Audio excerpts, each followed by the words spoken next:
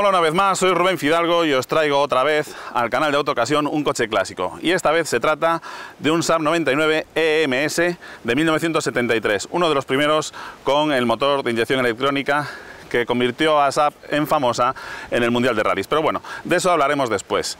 Lo que quiero es contaros la historia de este modelo tan apasionante.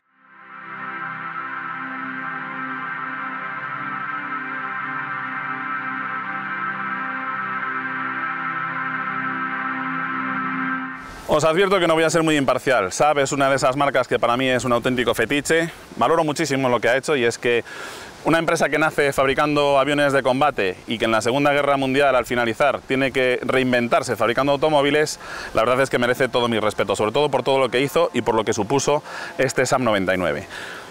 En 1948 aproximadamente, SAP empieza con los trabajos con el prototipo URSAP, de él sale el modelo 92, después vendría el 93, el 95, el 96, que básicamente son evoluciones de ese prototipo original, con distintos motores, distintas cilindradas, pero unas carrocerías muy similares.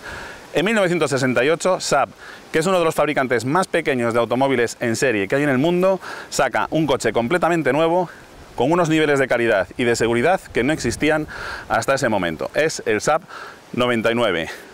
Este coche está repleto de primicias mundiales en el mundo del automóvil y de eso es de lo que vamos a hablar en esta videoprueba.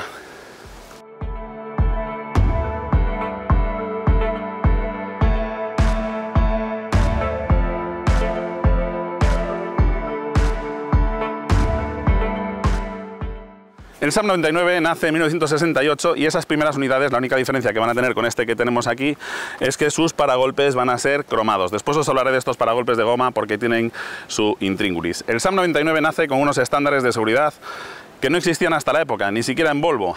Es el primer coche del mundo con barras anti-intrusión en las puertas para proteger a los pasajeros en caso de impacto lateral, 20 años antes que el resto de sus rivales. Ni Mercedes, ni BMW, ni nadie ofrecía esos sistemas en 1968.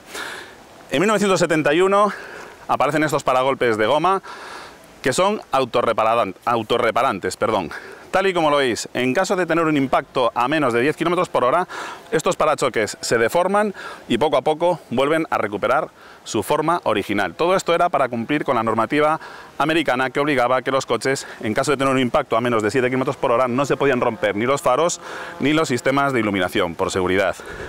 Primer coche del mundo con lavafaros. Después vais a ver además cómo funcionan y qué originales son. Eh, tienen una escobilla en vez de ser de chorro. ¿Por qué? Bueno, pues porque en un país como Suecia lo que interesaba era que aparte de limpiar el faro, me quitase la nieve para poder ver en los viajes. Este coche está en un estado de originalidad increíble y tiene accesorios muy poco habituales como son el kit Airflow.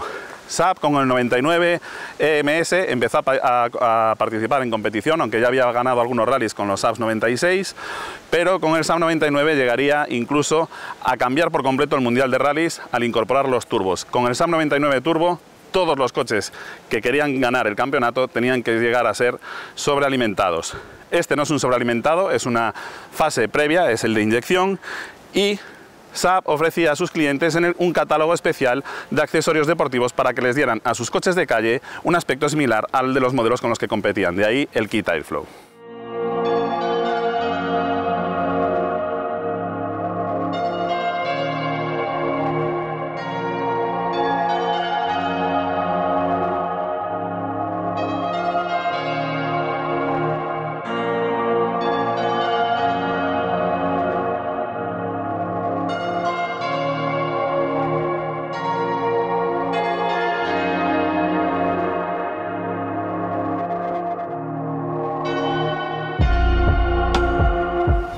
Enciende faros, dale al lavafaros.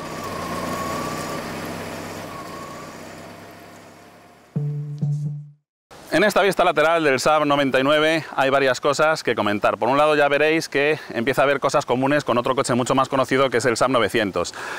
En realidad el Saab 900 es una evolución de este coche, lo único que veréis después que entre el parabrisas y las ruedas delanteras hay más distancia, ¿de acuerdo? Porque el Saab 900 se hizo un poco más largo para mejorar, entre otras cosas, eh, la potencia de los motores y la seguridad en caso de impacto. Esta trasera a muchos les recuerda al Renault 12 con esta caída del maletero. Para muchos es la vista más fea del Saab 99. Había otra versión que se llamaba Combi Coupé. A mí personalmente esta carrocería me resulta muy eh, elegante, está con una calidad de fabricación a años luz de la del Renault 12. Diferencias con respecto a los Saab 99 que tenemos en esta unidad son estos pilotos laterales que eran típicos de las versiones americanas y que se las pusimos en su momento para diferenciarlo más de un R12 y aparte de eso también mejorar la seguridad al ser mucho más visibles en los cruces lateralmente. Más cosas sobre las que llamar la atención. Bueno, el kit Airflow, que como decía es muy raro de ver en los Saab 99 con estos aletines y los faldones aerodinámicos. Las puertas son las mismas que las del Saab 900, ultra robustas y con esas barras anti-intrusión en caso de impacto.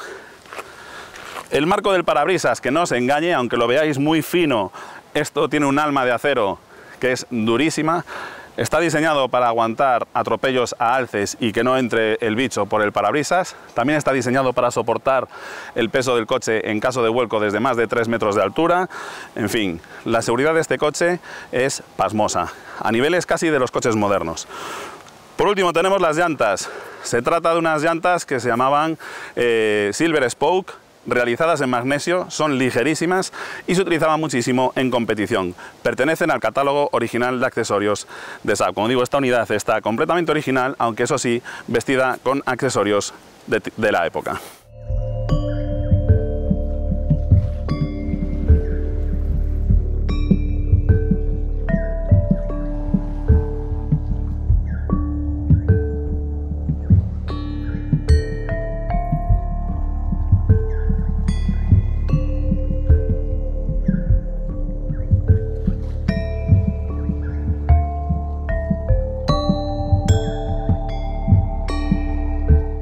Como os decía, Saab era una marca pionera en seguridad. Primero, estos son los anclajes del capó, pensados para que en caso de impacto el capó que se abre a contramarcha no penetre por el parabrisas, ¿de acuerdo? Queda encajado aquí y el capó está diseñado para doblarse por la mitad.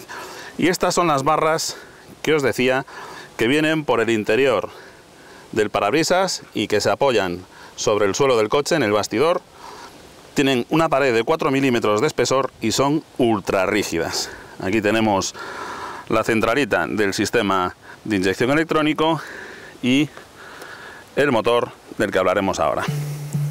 Detalles de seguridad en cuanto a la apertura del capó. Primero, el capó abre a contramarcha. En aquellos años era bastante frecuente que se rompieran los cables de los tiradores y de los cerrojos de los capós, de forma que en marcha se podían abrir y el viento nos abría el capó contra el parabrisas y nos dejaba completamente sin visibilidad. La primera decisión de SAP fue que los capots abriesen en sentido a contramarcha. Pero aparte de eso, este capó está diseñado con una zona más blanda aquí en el medio, de forma que en caso de impacto frontal, por ejemplo en un Renault 4 latas, eh, la hoja del capó tiende a meterse por el parabrisas. Aquí, la parte de atrás del capó queda encajada en esos cerrojos que os enseñaba antes, el capó se dobla por la mitad y no solo no entra por el parabrisas, sino que protege el parabrisas del impacto. Como veis, después, a la hora de abrirlo, queda como el escudo de un legionario. Saab era una marca tan obsesionada por la seguridad, tanto pasiva, con estos refuerzos y esta forma de construir los coches tan robusta, como con la seguridad activa. Y para eso era importante que el coche tuviera un buen comportamiento dinámico. De forma que el motor, aunque va colocado en posición longitudinal y es delantero, lo que se ha hecho es montar la transmisión paralela al cárter del motor de forma que el motor, en lugar de colgar por delante del eje por completo, como sucede con modelos como por ejemplo los Audi, aquí está el motor mucho más encima del eje, mejorando así la motricidad y también reduciendo el subviraje del coche con un mejor reparto de pesos. En un principio el Saab 99 nace con un motor de 4 cilindros en línea que Saab fabrica en colaboración con Triumph. Poco a poco este motor va evolucionando, aquí ya tiene muy poco que ver con el motor de Triumph, la cilindrada ha pasado de 1,725 a 2 litros de cilindrada, también se modificó la distribución en los modelos posteriores y el encendido iba directamente al árbol de levas, como digo, en los modelos posteriores. El EMS de 2 litros rendía 112 caballos de potencia, después hubo una evolución en la cual en lugar de inyección completamente electrónica como esta, montaban eh, una inyección Calletronic más barata, y, como digo, la potencia era de 112 caballos y una caja de cambios de 4 velocidades. Con un frontal bastante elaborado, Un lateral también bastante original, la parte trasera es la que tal vez quede un poquito más sosa, sobre todo con, bueno, con estos pilotos que son los mismos que monta también el Saab Sonet 3.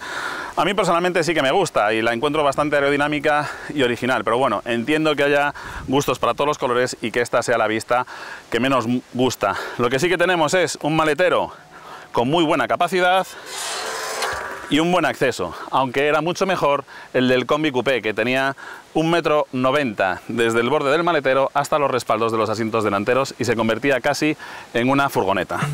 En el maletero tenemos la rueda de repuesto muy a mano, la podemos sacar incluso aunque llevemos el coche cargado hasta las trancas. Y como veis, formas muy regulares y útiles.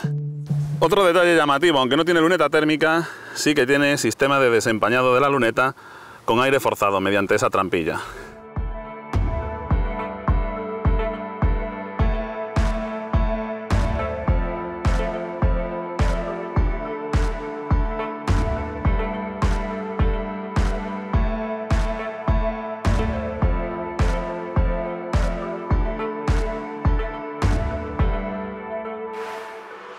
El interior de este Saab 99 es, pues eso, muy setentero. Tapicerías completamente originales, de Sky y una especie de pana.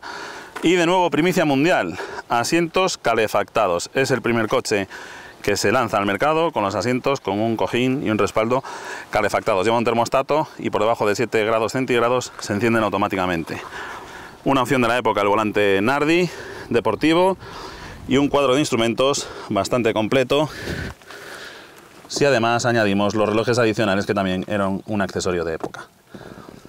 Un sistema de climatización muy eficaz y otro detalle característico de SAP, la llave bloqueando la palanca de cambios en la marcha atrás en lugar de la columna de dirección. ¿Por qué?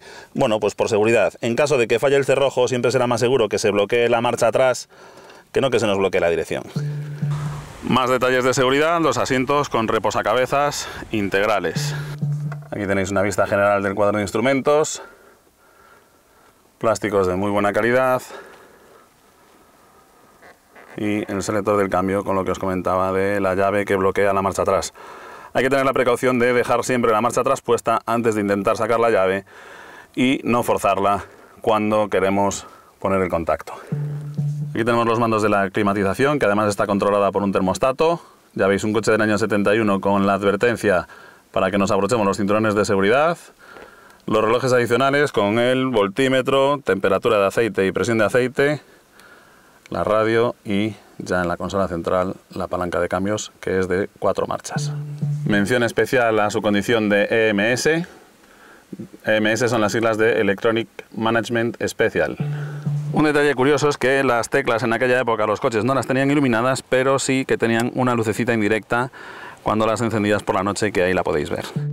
Las plazas traseras también muy confortables, la verdad es que el Saab 99 era un coche que estaba realizado, fijaos, desde el año 73 la calidad y el estado en el que todavía se conserva este ejemplar.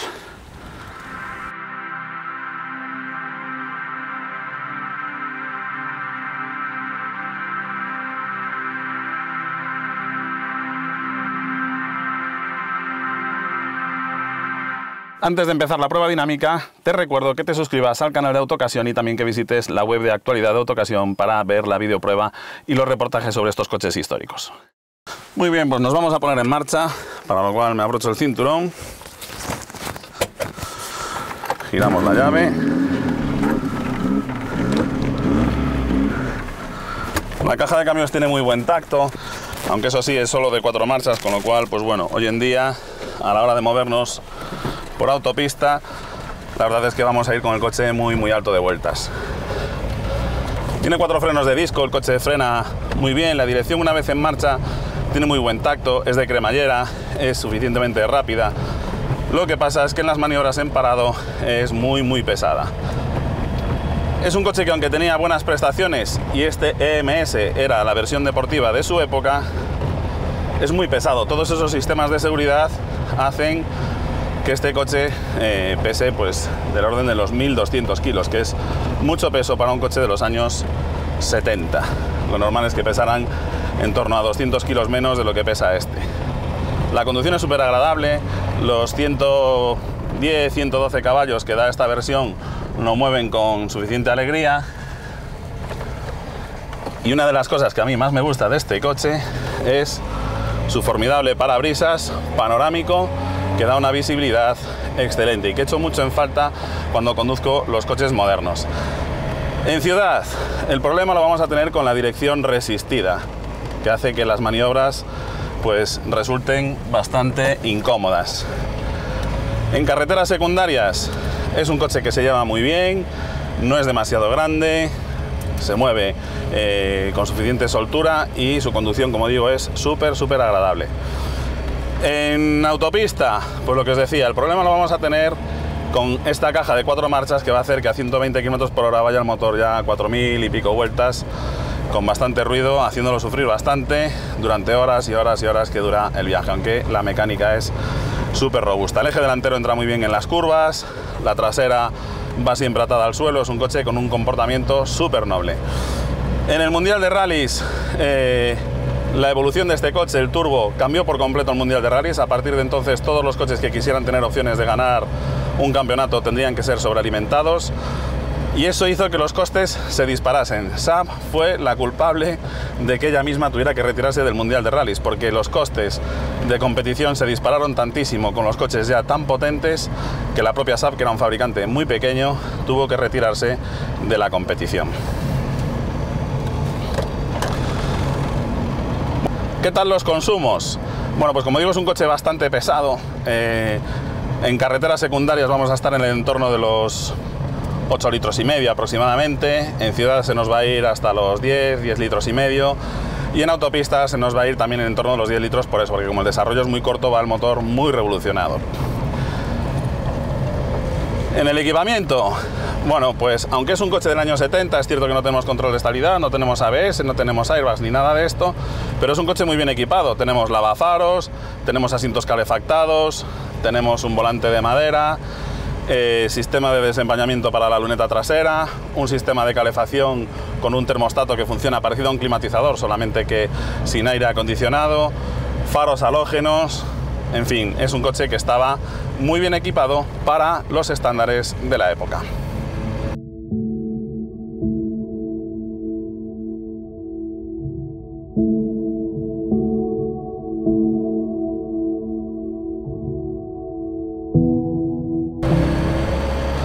La verdad es que conducir este coche me trae muy buenos recuerdos. Con él hemos participado en el Rally Londres-Lisboa, eh, luego tuve que repararlo en Villarreal porque en una prueba de habilidad en el circuito de Villarreal al pisar los frenos mi piloto rompió dos latiguillos de freno y nos quedamos sin frenos, pero bueno, la verdad es que fue toda una experiencia. En él empecé a participar en los rallies de regularidad, también a especializarme bastante en todo lo que es la puesta a punto del coche, etcétera.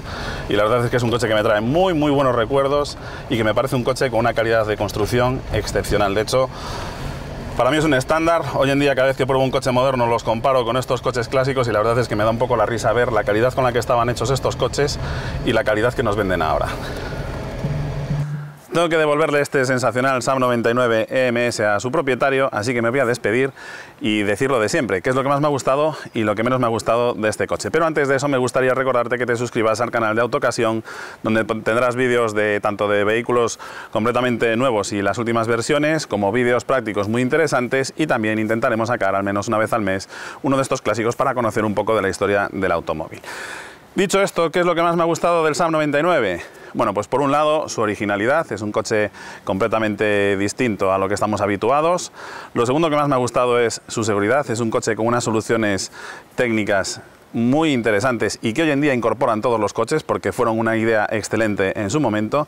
Y lo tercero que más me ha gustado es que es un coche pues bastante cómodo de viajar en él y bastante utilizable, salvo por el detalle de la dirección asistida. ¿Qué es lo que menos me ha gustado? Bueno, pues precisamente esa falta de dirección asistida que hace que las maniobras sean un poco incómodas. Además, lleva unos neumáticos bastante anchos, de 190 185 milímetros de ancho, con lo cual se hace bastante pesada. Lo segundo que menos me ha gustado es que desde que SAP ha desaparecido tampoco es demasiado fácil conseguir recambios y mantener estos coches. Y lo tercero que menos me ha gustado es que por su peso hace que esos 112 caballos, que eran muchos en 1972, 73 aproximadamente, pues eh, se ven bastante achicados. Hay coches con, estas, eh, con estos niveles de potencia de su época que resultan mucho más rápidos y mucho más ágiles porque pesan pues eso, unos 200 kilos menos. Pero bueno, la seguridad eh, es lo que tiene. Así que por mi parte nada más, me despido como siempre deseándote mucha suerte y hasta pronto.